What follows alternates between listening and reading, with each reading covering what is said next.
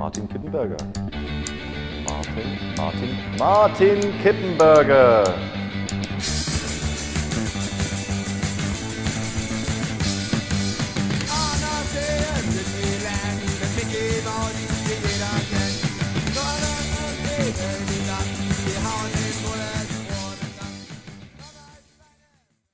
What strikes everyone who, who has anything to do with Kippenberger is that he has a very pronounced sense of humor. When he came to Berlin in the 1970s, you have to imagine that Berlin was a very um, unique city. Uh, it was encircled by the Berlin Wall, and uh, it, it, everyone who lived in Berlin was exempt from military service, so it attracted a lot of people who were, shall we say, anti establishment. And uh, in the area that he was active, Kreuzberg, there is a club called the SO36, which was a, a, punk rock establishment, if you want.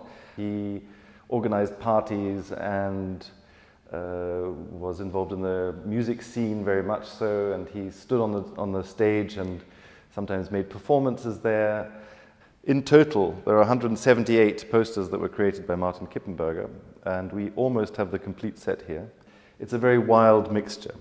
The invitation cards also served a, a purpose of documenting his life, but it was more than just a question of showing which exhibitions were about to happen.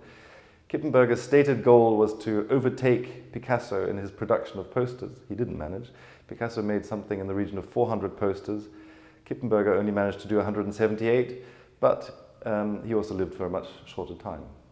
An amusing little anecdote that is also illustrated in one of the posters is an exhibition that was entitled Dialogue with Youth, Dialog mit der Jugend, which uh, documented an encounter that Kippenberger had with uh, a famous punk girl by the name of Ratten Jenny, who always had a large rat on her shoulder. And um, because Martin Kippenberger was wearing a suit and was in this area that was not at all conducive to wearing suits, um, he was heavily beaten up by this girl uh, in the process, the, the rat also uh, died.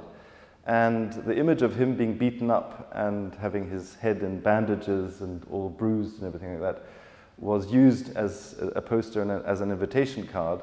And the title of that exhibition was called Dialogue with Youth. We have a selection of drawings here, some of which are on hotel stationery, and others are on different types of papers that he used on his travels. For example, some of these works were made in his Brazilian uh, trip in 1986.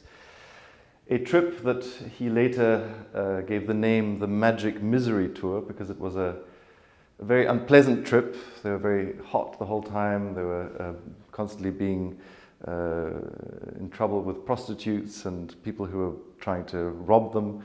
But it was a very important trip for him, and um, you can see that some of the paper is, that is used here is actually on Brazilian official documents um, that he then colored in. Some of them have references to experiences that he had in Brazil. There's a this one here is entitled "I don't have problems with men. I am a Rio gay boy." The title of the work behind me is "The End of the Alphabet," which uh, is somewhat obvious, but it is in this case it is a prototype for an edition that was made this exhibition at Dickinson in London, which is to be, to be held here until the 30th of October, is a unique opportunity to see practically the entire gamut of Martin Kippenberger's work in one condensed exhibition. This almost unique collection offers an insight from the very first days of Martin Kippenberger's work as an artist over his successes and his downfalls. It offers a really interesting insight and allows you to really get a very good idea of the work and the complexity of Martin Kippenberger's output. Cut. Disneyland mit Mickey Mouse, die jeder kennt. Disneyland mit Mickey Mouse.